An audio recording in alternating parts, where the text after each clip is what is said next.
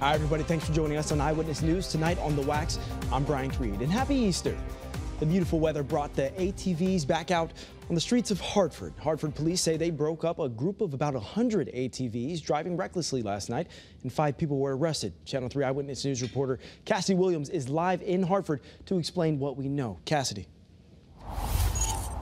Hartford police say this attempted street takeover took place in the area of Keney Park. When we were there this afternoon, we saw an ATV cruising through the grass. A dirt bike was there too. And last night, police say there were around 100 ATVs.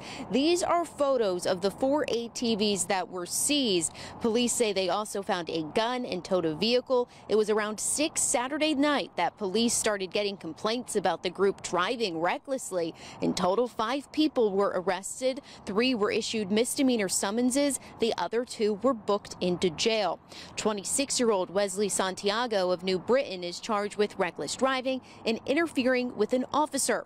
33 year old Angel Figueroa of Manchester is charged with reckless driving, operating an unregistered motor vehicle, and illegal weapons in a motor vehicle. The ATVs that were seized are now at the Hartford impound lot. Live in Hartford, Cassidy Williams, Channel 3 Eyewitness News.